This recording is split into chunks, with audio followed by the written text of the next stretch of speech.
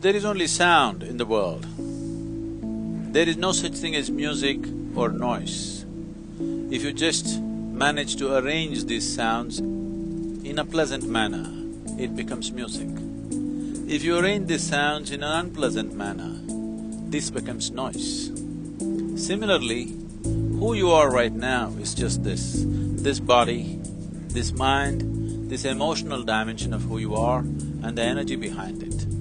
These four ingredients, if you learn to put them together in an appropriate manner, you become like pleasant music.